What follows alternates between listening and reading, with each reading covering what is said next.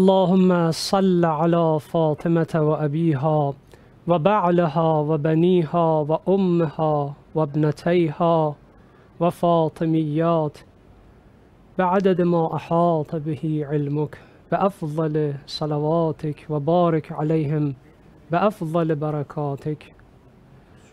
والعن أعداءهم وقتلتهم وظالميهم أجمعين. اللهم لعن الجبت والطاغوت وأم الشرور وأتباعهم وأشياعهم أجمعين. اللهم عجل في فرج منتقم آل محمد. عجل لوليك الفرج والعافية والنصر واجعلنا بفضلك من خير أعوانه وأنصاره والمستشهدين بين يديه. آمين. سلام علیکم و رحمت الله عرض تسلیت دارم و تعذیت ایام شهادت حضرت محسن علیه السلام فرزند امیر المؤمنین و صدیقه طاهره سلام الله علیهما. عرض تسلیت ویژه‌ای دارم در همچین روزی خدمت آقا امام زمان علیه السلام. وجود مقدسی که قلبشون محزون از ماتم عموی بزرگوارشون. آقایی که مثل چنین روزی در روز جمعه انتظار می‌کشند در کنار شیعیان و موالیانشون که خداوند سرانجام اذن ظهور حضرت رو صادر کنند و حضرتش از کنار خانه کعبه ندای جهانی ظهور رو سر بدن. فرمان الهی رو لبیک بگن با پرچم یال ثارات الحسین. قیام خودشون رو آغاز کنن و طلب خون آبا و اجداد طاهرینشون رو از ظالمین انجام بدند خدایا به دل محزون امام زمان علیه السلام فرج حضرتش رو برسون و همه ما رو از خدمتگزاران اون حضرت قرار بده. شما بینندگان عزیز که شاهد این برنامه هستید برنامه تلختر از آشورا امیدوارم که در این روزها با برپایی مجالس عزا و ماتم آل الله همصدا باشید با مادر سادات. اجرتون با حضرت زهرا. عرض سلام و ادب دارم خدمت شما جناب آقای موسوی متقی. ممنون که باز هم در این برنامه با ما همراه هستید. انشالله که امروز هم با بیانات خودتون قلب امام زمان علیه السلام رو شاد کنید و تسلایی باشه برای دل حضرت و برای شیعیان حضرت روشنگر راه. علیکم السلام و رحمت الله و برکاته. بندم عرض درود و سلام ادب و تهیت دارم خدمت جناب و همه همکارانتون در شبکه امام حسین. سلام الله علیه و همه بینندگان عزیز و محترم این شبکه در هر کجا که هستن. انشاءالله که این روز جمعه امیدواریم آخرین جمعه پیش از ظهور باشه و جمعه دیگه امام زمان ارواحنا له الفدا در مسجد الحرام نماز جمعه برپا بدارند. گفت آرزو بر ما جوانان عیب نیست گرچه ریشمون در خونه امام حسین سفید کردیم اما هنوزم آرزو داریم که اونقدر خدا به همون عمر بده و این جمعه آخرین جمعه عمرمون نباشه. انشالله همه بینندگان ما عمر طولانی داشته باشن. جمعه های بهتر از این رو ببینیم و اون جمعه ظهور رو هممون درک کنیم. و نحن نقول الحمدلله رب العالمین. یه نفس راحتی بکشیم بکشیم. الحمدلله بگیم الحمدلله که آقامون اومد. الحمدلله که تو این دنیا می‌تونیم سرمون رو بلند کنیم بگیم ما هم صاحب داریم. و هیچ کس در اون روز به ما تعنه و تبسم تمسخرآمیز نزنه. انشاءالله به امید چنین روزی. ممنون و متشکر از شما. اگر اجازه میفرمایید با توجه به اینکه مثل همچین روزی سوم و یا چهارم ماه ربیع الاول یعنی پنج شش روز بعد از شهادت پیامبر اکرم صلی الله علیه و آله اون جنایت بزرگ صورت گرفت.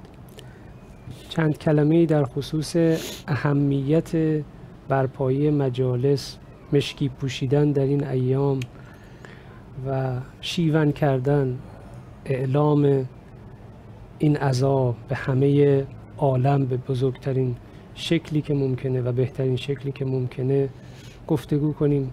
انشالله که امسال و سالهای آینده همه عزیزانی که صدای ما رو میشنون و خود ما موفق به این امر مهم باشیم خدا به شما سلامتی بده. ممنونم از اینکه شما زمینه بحث آماده می‌کنید که من بدونم چی باید اصلا بگم. چون واقعش مثل روز آشوراست و حتی به قولی تلختر و سنگینتر. همونطور که روز آشورا ما روز خونا میمونیم. اصلا کدوم مصیبت رو باید مطرح کنیم؟ تو این ایام محسنی هم به واقع انسان میمونه که از کجا باید شروع کنه چی باید بگه. حالا به هر حال شما زمینه رو فراهم می‌کنید. اون موضوع رو به ما می‌دید که ما بتونیم حول اون موضوع صحبت کنیم. واقعش شیعه بودن رافضی بودن حسینی و حسنی بودن علوی و فاطمی بودن و به عبارت بالاتر محمدی بودن و از همه اینها سختتر محسنی بودن صرفا یک فضیلت برای ما نیست. این نیست که ما بیایم به این حسینی بودنمون یا محسنی بودنمون مباهات کنیم. فقط مباهات هم می‌کنیم افتخار هم می‌کنیم. به همون اندازه که مثلا به فارس بودن یا عرب بودن مباهات کردن امر ابلهانه همون اندازه که به ایرانی بودن نمی‌دونم عراقی بودن پاکستانی بودن به خاک و وطن و پرچم افتخار کردن. از ابلهانه ترین به اصطلاح رفتارهایی که یه نفری ممکنه بکنه به همون اندازه شیعه بودن علوی بودن صاحب عقیده سلیمه بودن افتخاره. حالا اون بحث جای خودشو داره که آیا من آیا دوست وطنم محب وطن خودم نباید باشم. ممکنه این سوال رو بکنم که اون جای خودشو داره که وطن من همون هر جاییست که بر معزنه شهادت بر توحید و نبوت رسول خدا و ولایت علی. هر جا باشه معزنه اون سرزمین این سه شهادت رو بگه اونجا وطن منه. وطن ما بصره و کوفه و تهران و شام و نمی‌دونم بحرین و حمص و حلب نیست. وطن ما اسلام است و تشیع. وطن ما اونجایی است که دلی داره به محبت آل محمد میتپه. و لذا افتخار می‌کنیم به اینکه ما اهل این وطنیم. ما اهل این پرچم سرخیم پرچم ملی ما این پرچم سرخی است که بر معزن ابی عبدالله. اما اگه بخوایم حالا به عقیده خودمون مباهات کنیم به شیعه بودنمون مباهات می‌کنیم. همه شیعه بودنی مباهات نیست بلکه این چیزی بالاتر و بالاتر به مراتب بالاتر هست و اون مسئولیته اینکه چرا سیاه میپوشیم مشکی میپوشیم اینکه چرا مشکی به در دیوار می‌زنیم اینکه چرا به اصطلاح چهره شهرهامون و خانه هامون و چهره خودمون همونطور که اولیاءمون تو این ایام لبخند به لبشون نمی اومد و حالا رسم هر ملتی هست که مثلا بعض از اهالی بعض بلاد مثلا خراسانی ها یا بعضی شهرهای دیگه در ایام شهادت هست دیدیم مثلا انگور نمی‌خورن. این معناش نیست که انگور خوردن مکروه مثلا. نه این اشاره ایه این اشاره است. تمام اینها اشاراته. تمام این شعائر یه جوری اشاره است. برای اینکه آقا من پایبند به یک عقیده ای هستم. تو دنیا به نوعی دارم یه ساز مخالفی می‌زنم. همون که میگیم چی؟ ناسازگاری در ترجمه کلمه رافضی بودن. میگیم شیعه ناسازگار. ما دو دست شیعه داریم. شیعه بطری سازگار که با همه سازمان ها و با همه ملیت ها و با همه نظام های حکومتی در دنیا می‌سازه. هر سازی اونا بزنن اینا, اینا به اون ساز میرن.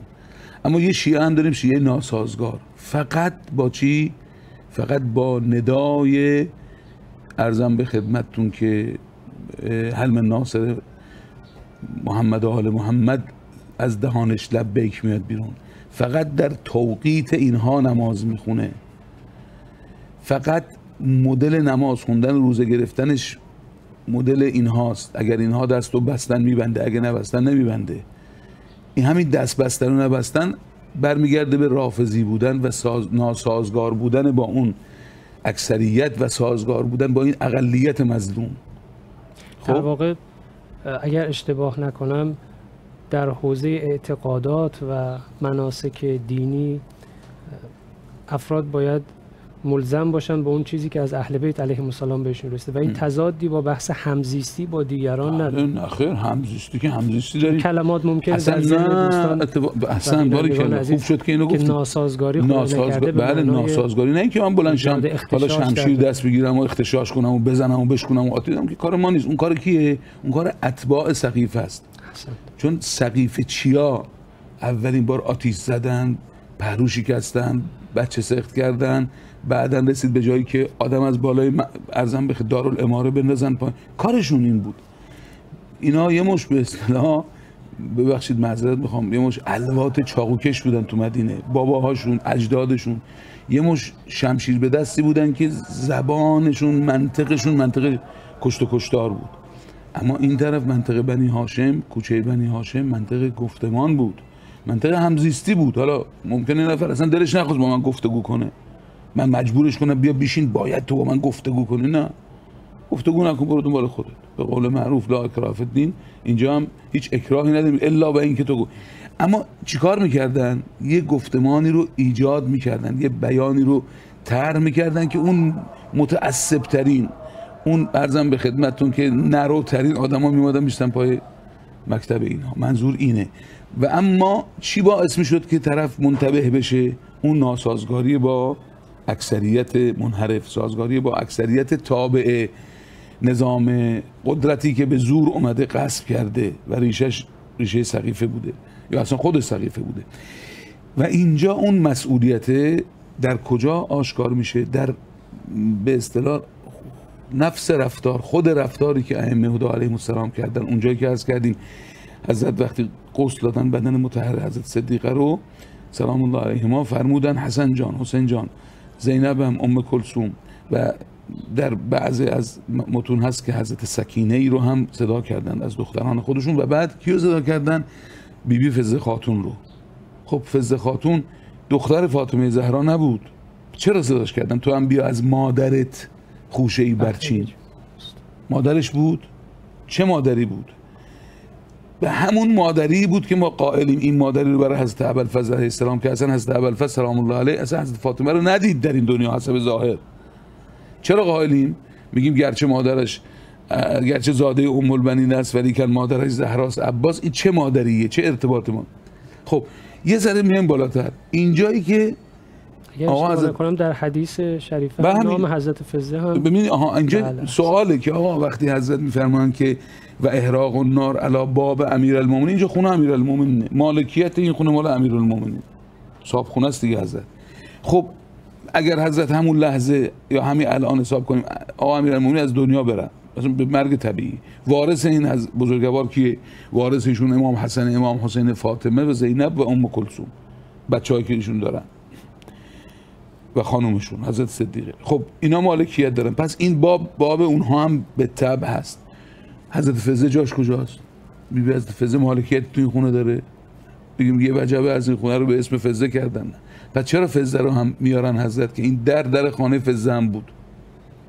این همون مسئولیت هست که می‌خوان بگن کجا دوباره این مسئولیت بیشتر نشون داده میشه؟ پس اینجا فهمیدیم قصه مالکیت یه جور مالکیت معنویه نه مالکیت مادی که این یه بخشی از این خونه مال حضرت فزه باشه. نه. فزه هم به نوعی طلبکاره از این جریان در سوختن این خانه. درست شد؟ اینطور بگیم شاید که ایشون هم از این ماجرا ارث می‌بره و. میراث این این داغ بر او و این بله این هم. و این داغ بر دوش او هم هست, هست. و کیا استمرار کجا استمرار پیدا می‌کنه از فز به فزه ختم میشه؟ به سلمان محمدی که فرمودن سلمان و منا اهل البیت. و این فقط در مورد سلمان نبوده ها. بعضی منحصر می‌خوام بکنن که آقا این در سلمان بوده. نه. حضرت یک یهودی رو در آغوش گرفتند در جنگ ارزم به خدمتون که ظاهرا سفین در. مسیر سفین به یه یهودی برخوردن. داستانی داره. مفصل عجیب و غریب از معجزات امیرالمومنین. اینجا اتفاق میفته بعد این یهودی همراه میشه. یهودی یهودی. یهودی یهودیت یه دین نیست تا یهودیت یک ارقه. یعنی این یهودی باید از بنی اسرائیل باشه و از فرزندان یهودا باشه. یعنی به اصطلاح متعصب ترین بنی اسرائیل نسبت به اون ارقشون. خب؟ این یهودی ها رو همراه خودشون می‌بره. مثلا اولا یهودیه ارقن مسلمون هم نبوده شیعه هم تا الان نبوده. یه دفعه اینجا همراه میشه با امیرالمومنین و شهادتین و شهادت ثالث جاری می‌کنه همراهیش با امیرالمومنین تو جنگ کشته میشه و حضرت رو در آغوش می‌گیرن و میفرمان هازا منا اهل البیت. عجیبه.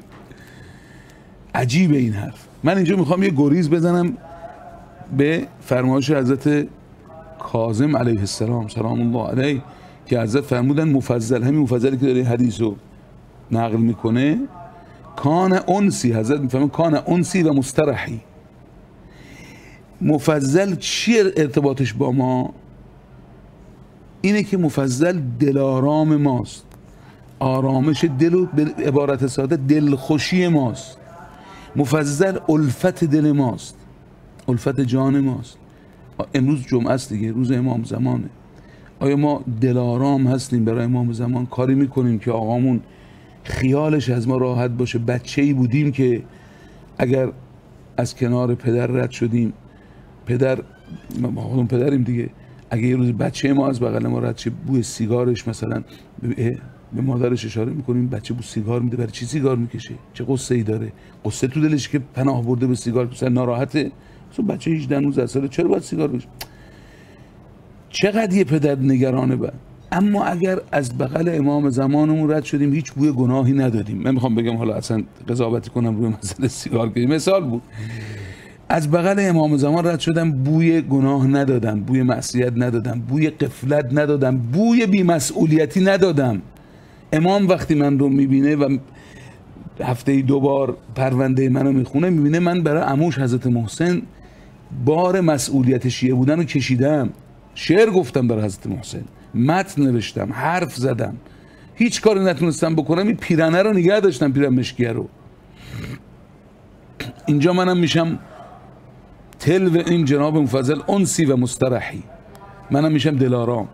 حالا دقت کنین اونجا که حضرت صدا می‌کنن فزه رو فزه جان بیا تو هم با مادرت خداحافظی کن و از او خوشه ای برچین. همچنان که حسن و حسینشون که امام معصومن صدا می‌کنن. زینب و ام کلثومی که عالمه غیر معلمه است حضرت زینب. و ام کلثوم هم بعید نیست که یعنی بعید نیست که قطعا تربیت شده همین خونه. چطور فزه رو صدا می‌کنن؟ این یکیش اینه که بله فزه خاتون شاگرد به اصطلاح بیبی حضرت زهراست و تا آخر عمر بعد از شهادت حضرت بیبی زبان به غیر قرآن وانه که هر سوالی ازشون می‌شد هر سوال به قرآن جواب می‌دادن. عجیب این آقا. و ارزم به خدمتتون که بالاتر از این فضیلت مسئولیته. کدوم مسئولیت؟ همون مسئولیتی که حضرت صدیق طاهره تو آخرین لحظات عمر شریفشون این مسئولیت رو انداختن رو دوشه. بچه هاشون شیعیانشون به چه چیزی؟ به یه سلام. سلام. من یه حسابی دارم با شما. نه حساب مالی ها یه قصه ای با شما دارم. مدتی شما رو ندیدم یا ممکنه شما رو بعد از این نبینم. توسط کسی میگم آقا آقای رسائل دیدین از قول من سلام بهش برسونید. این سلامی پیامه.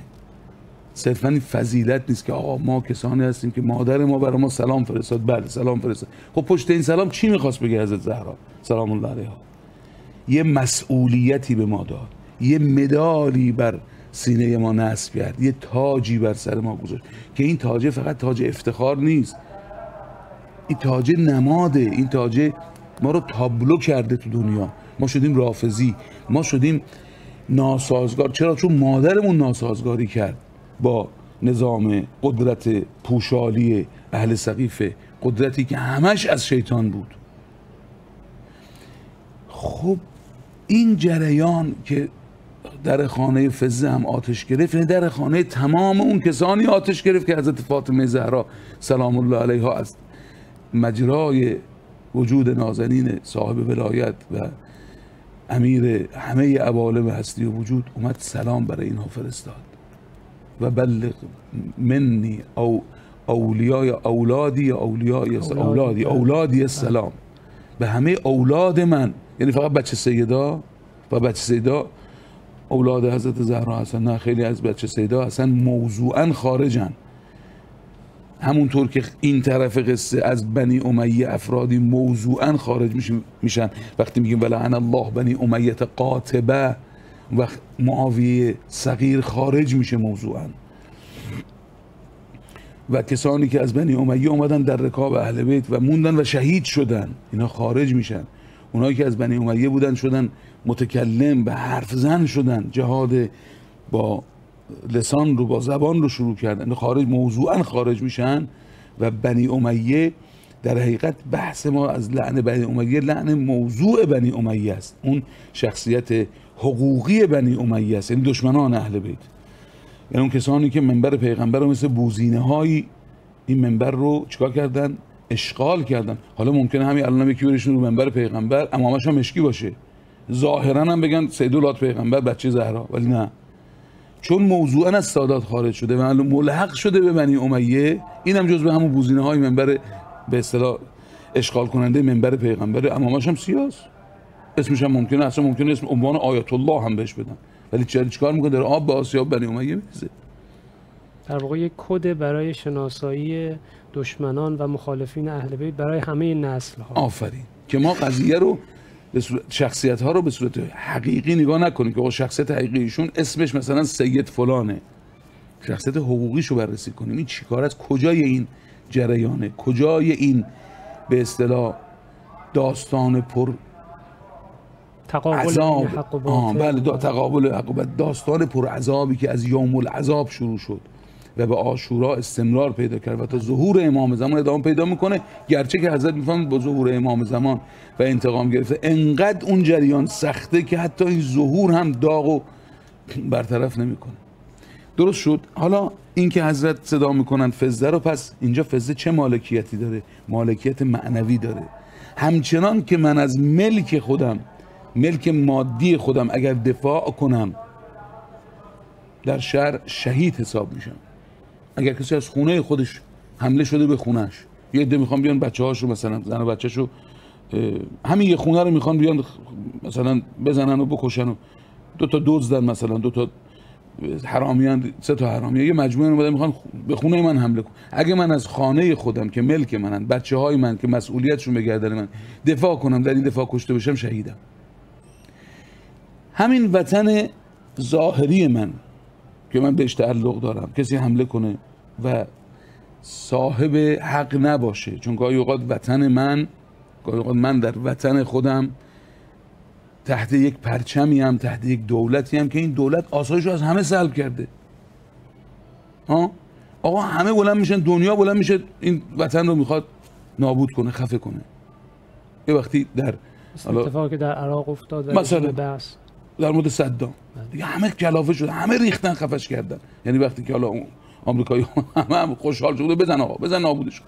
یه وقتی من در چین اومدم صحبت این هیروشیما و اینا رو کردم گفتم این امریکا چه جنایتی کرد در هیروشیما. دیدم چینیا دو سه نفر بودن اونجا حرف منو میفهمیدن فارسی بلد بودن. گفتن نه آقا چی میگی شما؟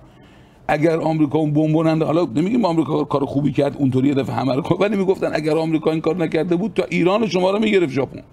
اینقدر جنایت کار بعد فیلمی از جنایت های اون ژاپنیا قبل از حادثه هیروشیما نشون می‌دادن. اینو می‌خوام بگم. آقا یه موقع من توی کشوری دارم زد... توی دولتی دارم زندگی می‌کنم که آسایش همه رو سلب کرده. یه دفعه همه دنیا بلند میشن آقا خفش می‌کنن. حالا من بیام اینجا دفاع کنم از این وطن بعدم بگم من شهید راه وطنم. خب الوطن من ایمان نه آجو اینجا به نوعی ارزم به خدمتون که باید بزنم پامو از این معرکه کنار. اگر فتنه است که کن فل فتنت کبن لبون ارزم به خدمتون خیلی قشنگه این عبارت. نه از ظاهرم حضرت فرمودن نه گرده ای داره که ازش بار بکشن لا ظهرون یرکب ولا ظاهرا فدیون یحلب. نه شیری نه از ظاهر من می‌ذارم می‌ذارم که بار ببرن و ظاهر من رو استفاده کنن ازش. و نه از شیره درونم می‌ذارم از شیره شیر من از باطن من استفاده بشه. نه. تو فتنه کبن لبون. اما از اون طرف هم می‌بینیم که حضرت حضرت کاظم علیه السلام همین حضرت کاظمی که میفرمایند این دلارام منه این آقای مفضل.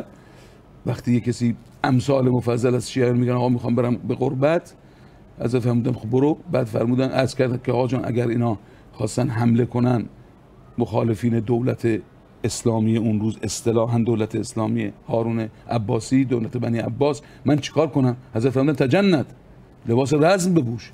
اگر کسی اونجا از اون ور خواست بیاد و این دولت رو اسقاط کنه این دولت ظلم و لباس رزم بپوش. این چه از می‌خوام بکنم؟ یعنی چرا؟ چون من مالکیت دارم. چه مالکیتی؟ مالکیت بالاتر از این مالکیت های ظاهری خاک و آب و وطن و مالکیت معنوی دارم. تو چی؟ در خانه امیر من مالکم من صاحب دمم. منتها از این ورم نباید گول بخورم. و من قتل مظلوما فقط جعلنا ولیه سلطانا. اینکه اگر یه کسی ار رسید و رفت با عبدالله ابن زبیر بیعت کرد و اونجا باجا رو داد و بعد بلند شد اومد آدمی که تو دلش محبت ابو بکر عمر علیه ما علیه بوده بعد اومده ارزم به خدمتتون که نه در بیعت رزوان بوده نه در بیعت قدیر بوده. از پشت خنجر به امام حسن زده. در قصه آشورا هم که اصلا نبوده قول خود زندان بوده. بعدم ارزم به خدمتتون یه مش دروغ دلنگ بسته به خودش و بسته به اهل بیت که من شیعه هستم. بعد اومده حالا می‌خواد انتقام بگیره. تو ولی؟ تو صاحب دمی؟ کی تو رو ولی کرده که می‌خوای انتقام بگیری؟ قبلش هم چی؟ همه اون قاتلای آشورا قاتلای محرم رو محرم اون سال رو قضا اون کسانی که اومدن به جنگ امام حسین و کشتن و اسارت بود همه اینا رو امان میده تو کوفه. همین آقای بله. مختار خان به همه امان میده. بعد چی؟ بعد تا اینا علیه خودش قیام می‌کنه که آها اه آها شما شما بودین؟ شما امام حسین کش بیا ببینم بیا ببینم می‌خوام انتقام خونه امام حسین ازت بگی بابا این الان داری تو انتقام خودتو می‌گیری. چرا امام حسین رو قربونش برم اسم امام حسین رو ابزار می‌کنه برای اینکه چهره برای خود درست کنی؟ ولذا گول این قصه ها هم نخوریم. بله ما احساس مالکیت داریم. میگیم امام من. این مالکیت رو من دارم؟ یعنی من مالک این مکانت این امام مسئولیتی که از این مکانت این امام به دوش من مالکم. ملکی هم نیست که بخوام بگم سرمایه ببرم بانک بابتش پول میدن. نه مسئولیته گرفتاری مشکلات. همه شیعه بودن مشکلات گرفتاری تلخیه اون تلخی که از روز تلخ در از آشورا شروع شد و یوم العذاب تا امروز بر دل ما شیعیان و رافضیان هست تو دنیا. اگه شیعه رافضی باشیم اگه خیلی اهل خوشخوشان نباشیم فقط اسم شیعه بودن و ارزم به خدمت و نون خوردن از بغل شیعه بودن. خب اینجا حواسم جمع باشه. هر کی اومد گفت من می‌خوام انتقام بگیرم و من صاحب نه صاحب حضرت صاحب زمان تا اون روزم اگر کاری می‌کنیم کار فرهنگی می‌کنیم کار علمی می‌کنیم کار شعائری می‌کنیم. شعاری میایم وسط شعوری میایم وسط. لبک یا حسینمون رو بلند می‌کنیم. چرا؟ چون منتظر کسی هستیم که اون عین صداقته. او مالک اصلی اون دره اون خانه است. و ما هم چی؟ وارثان یا ارزم به خدمتون که میراث نسبی می‌بریم. از اونها میگیم سید صحیح نسب هستیم. سید صحیح نسب یعنی سید صحیح العقیده. بله. اگه صحیح العقیده نباشه هیچ نسبی نداره. هیچ نسبی نداره. نه خیلی راحت بگیم. یه چیزی مثلا در بعضی کشورهای اسلامی هست. مثلا در افغانستان. هر سیدی رو باید احترام کنی حتی اگر فاسق باشه حتی اگر ظالم باشه. چه یه عبارتی که از آقا رسول گرفتن که آقا خوباشون رو به من احترام ب... خوباشون رو به خودشون احترام بزنید بداشون رو به من ببخشید. بعد که میگن یعنی بدی که گناهی ازش گناهی ازش سخیره ای سر می‌زنه. حتی کبیره ای بعد توبه می‌کنه. مثل عموی امام زمان جعفر که اول گفتن کذاب بعد گفتن گفتن نگید کذاب جعفر تواب شد توبه کرد. آقا امامه سیاه بر سرش جنایت می‌کنه. مگه عموی پیغمبر غیر از این بود که عموی پیغمبر هاشمی بود؟ قرآن میفهم تبت یدا ابی لهب بتب دستش بریده بود. یعنی چی, چی شد؟ بله. تعارف نداری آقا این نواده رسول باشه نواده رسول خدا باشه. مگه زید و نار نداریم. مگه اون کسایی که در روز بیعت گرفتن از ارزم به خدمتتون که ابو عباس احمد صف از صفاح مگه اینها ولی بالله خاک بدهنم امام صادق سلام الله علیه رو یه دب زندانی کرد؟ نه نه بعد نه بعد با لگت بیرون کردن از خونه عبدالله حسن مصنف با لگت امام صادق اه. اینا چی داشتن؟ شعور سیادت داشتن شعور بچه پیغمبر بودن داشتن نه. پس یا وارث نسبی سید صحیح نسبیم وارث اون علی و فاطمه و حسین و حسن و زینب و ام کلثوم و محسن. اونایی که یا اگرم سید نیستن بگه آقا من که سنمی با این خانواده ندارم. ها من که نسبتی ندارم. میراسی بر من نه مسئولیت رو دادن. اسم فزه اینجا یعنی همه شیعیان. حرف قشنگی می‌زد. که از اهل منبر میگو آقا اگه من و تو هم اونجا بودیم ما هم اگه اونجا بودیم یکی یکی صدامون می‌کرد. آقا امیرالمومنین میگو بیاین با مادرتون خداحافظی کنید خوشه ای برچینید. اگه ما هم تو خونه آقا امیرالمومنین نوکری می‌کردیم اسم ما رو می آوردن اگر چی؟ اگر گریهمون شد گریه محق عرض دیروز. گریه ای که بر اساس احقاق حق گریه می‌کنیم. این مسئله این بیان بسیار مهمه. حالا در گذر زمان بعد از 1300 400 سال من چیکار می‌تونم بکنم؟ اگر نکنم اگر نکنم نمیگیم دشمنی کردم شمشیر که نه آقا نکنی خزلان کردی. اللهم انصر من نصره و خذل من خذله. نفرمود و حارب من حاربه. اونی که شمشیر کشید برو علی شمشیر بروش بکش خدایا. بله. خدایا اون کسی که دشمنی با علی می‌کنه دشمنی کن باهاش. اصلا صحبت دشمنی نیست. صحبت کار نکردن بارور نداشتن. خزلان یعنی این. خزلان کاری از دستمون برمیاد ولی نکن. انجام ندیم. آفرین. بی تفاوت باشیم. آفرین. بی... خیلی کلمه قشنگی. بی تفاوتی. من حالا کلمه بی تفاوتی. یه ذره سنگین‌تر. بی غیرتی. یا مثلا قسمم می‌خوره. گاهی اوقات میگه به مادرم زهرا. به جدم رسول الله یا به آقام به مولام علی قسم.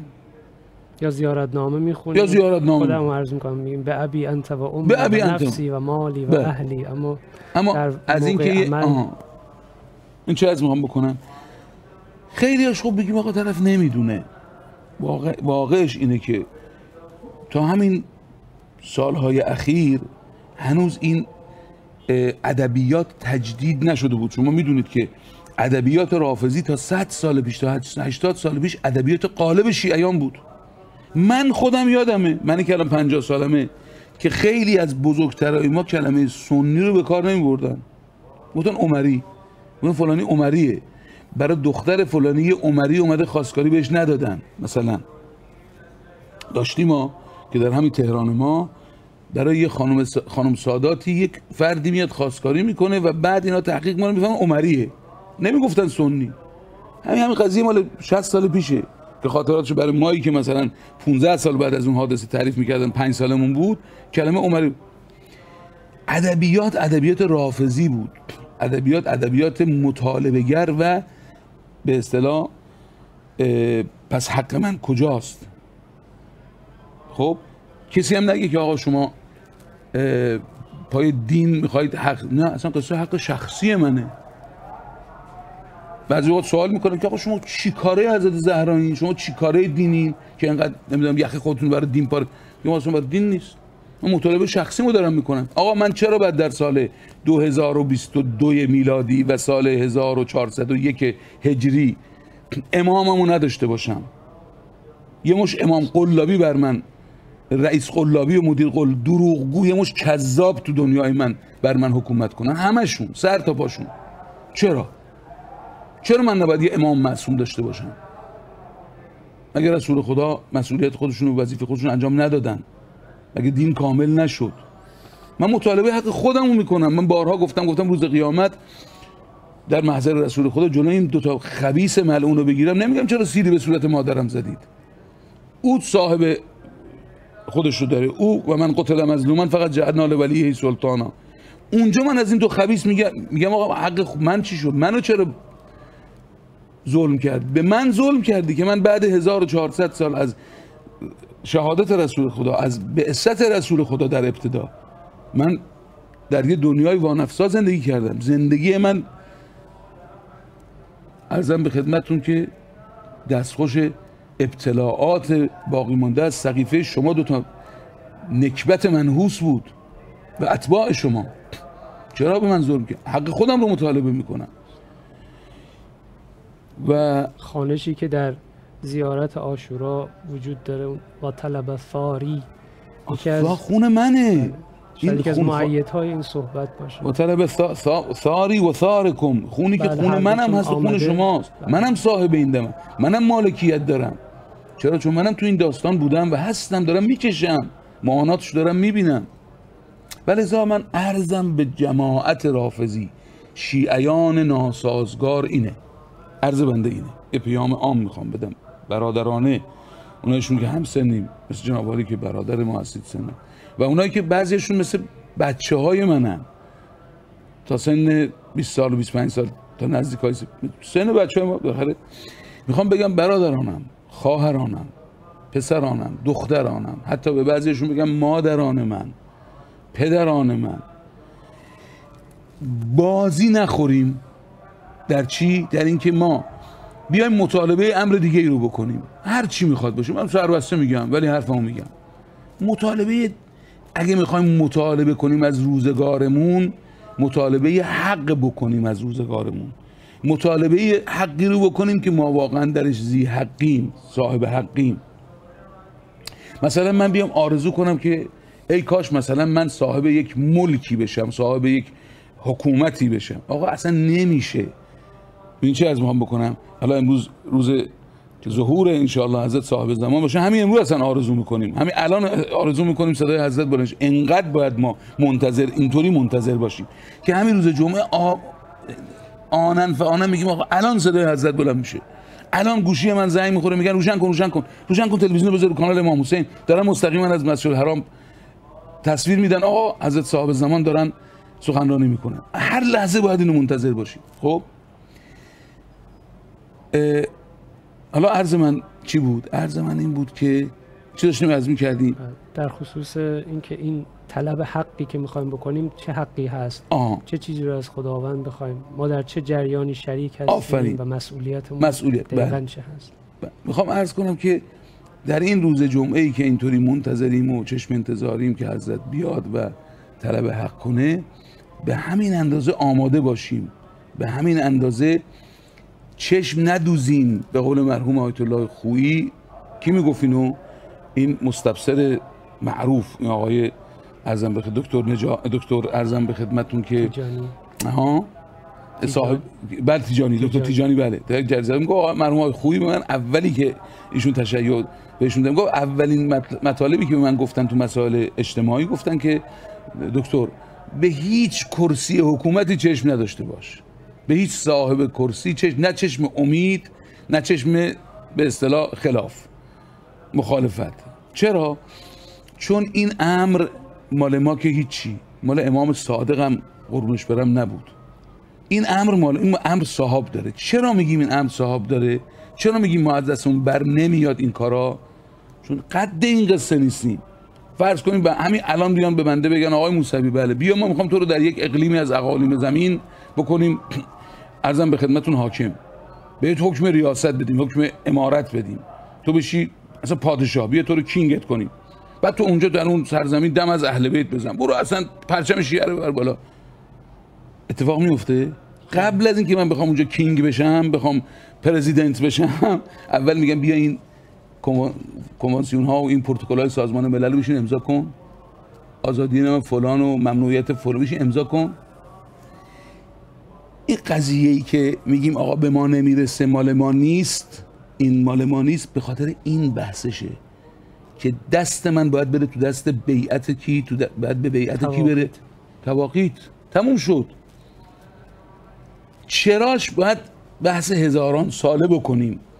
چراش الان نمی‌خوام بحث بکنیم. فعلا غلبه با تواقیته. من چیکار می‌تونم بکنم؟ من بزرگترین کاری که می‌خوام می‌تونم بکنم بر اساس این به اصطلاح مسئولیتی که دارم. اگر سیدم و اگر سید صحیح نسب صحیح العقیده هم که وارث محمد آل محمد هم در ارزم به خدمتون اون مالکیت هایی که از حالا میگیم که آیا شما ارسی هم از نمی‌دونم باغ فدک می‌بری از صحبت ایناش نیست. بالاتر از همه اینا میراث فرهنگی اوناست و مالکیت معنوی من. درست شد؟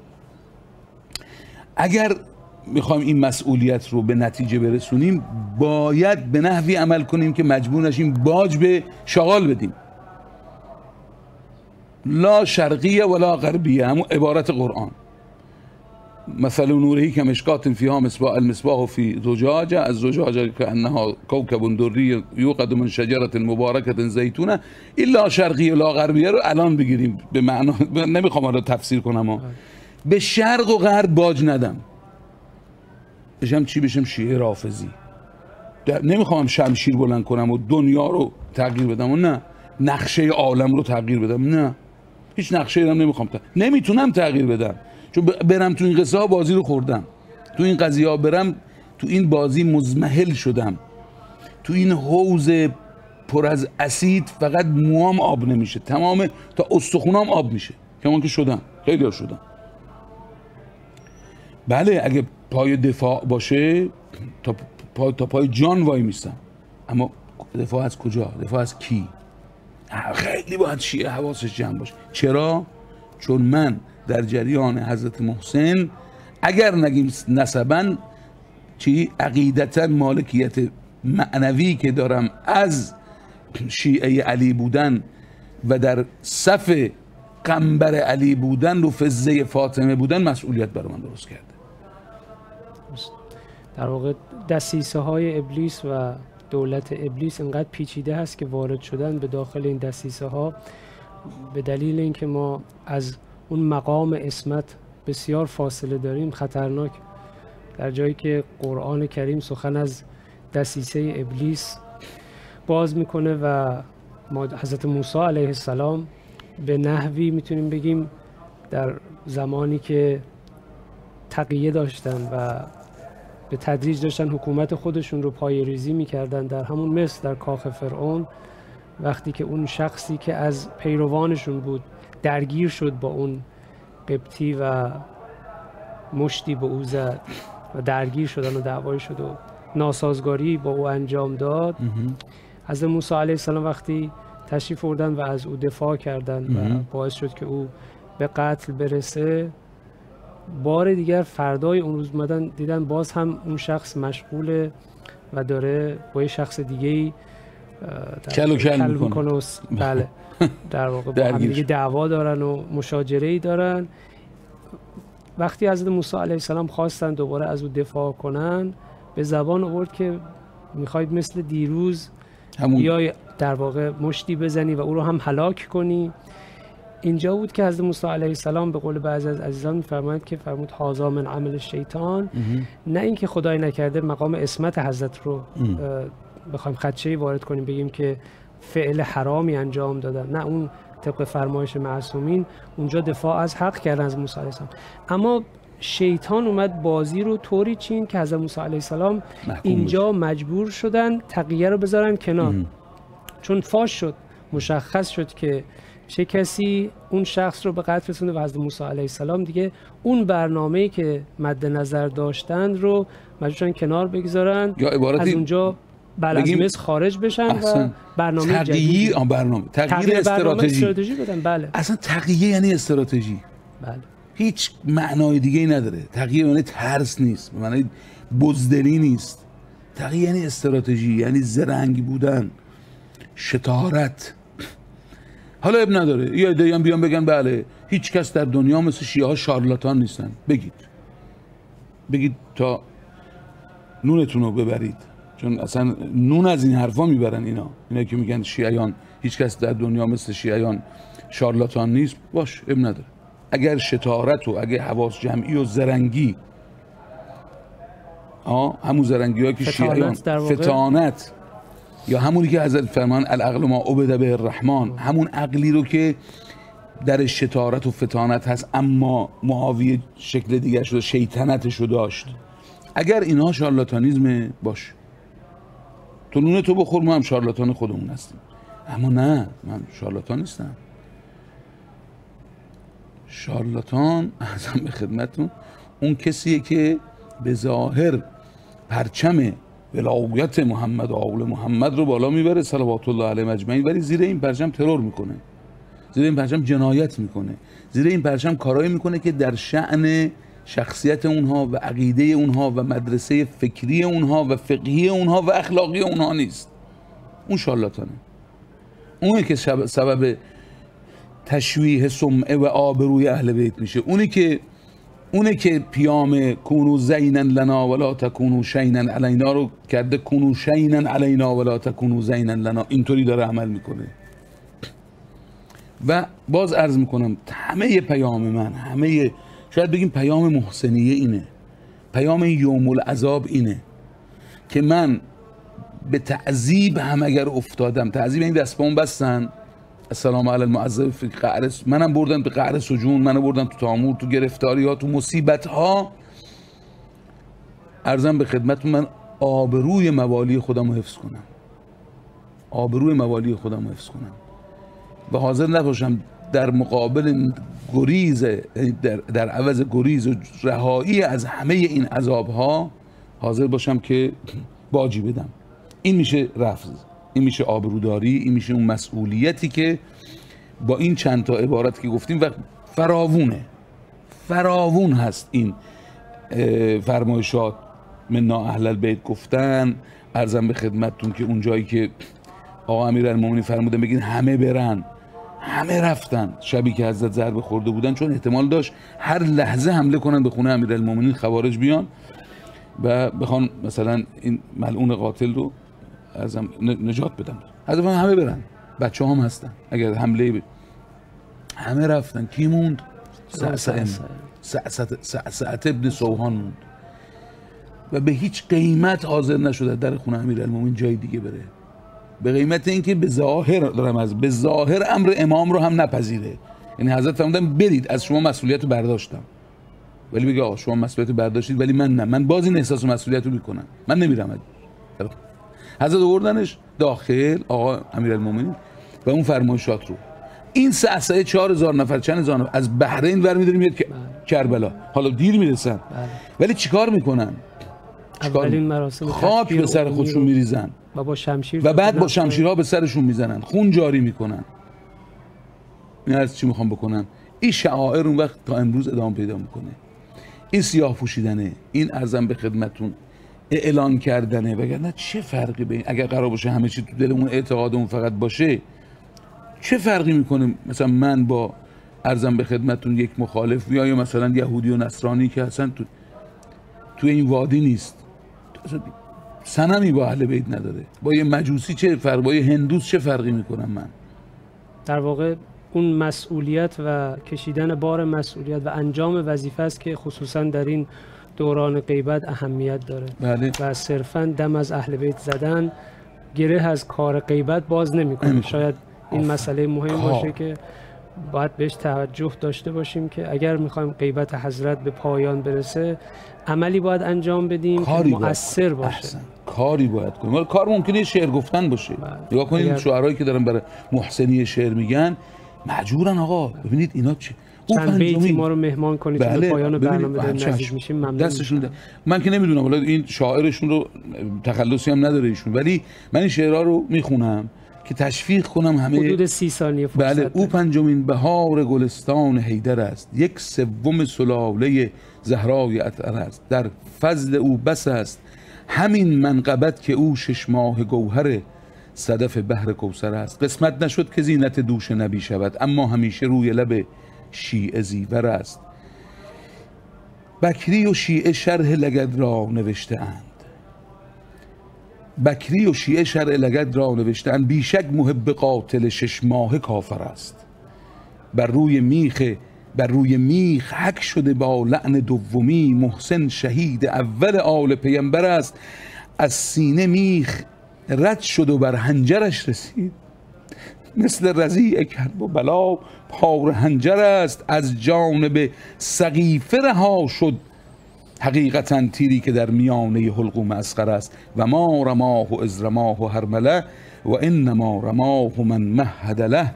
سهم اتا من جانب السقیفه و قوسه على ید الخلیفه لعنت الله علیه و لعنت الله على كل قاسب قصب حق لا امیر لعنة الله على القوم الظالمين وسيعلم الذين ظلموا أي منقلب ينقلبون. اللهم عجل في فرج منتقم آل محمد. یا علی مدد خدا نگهدارش.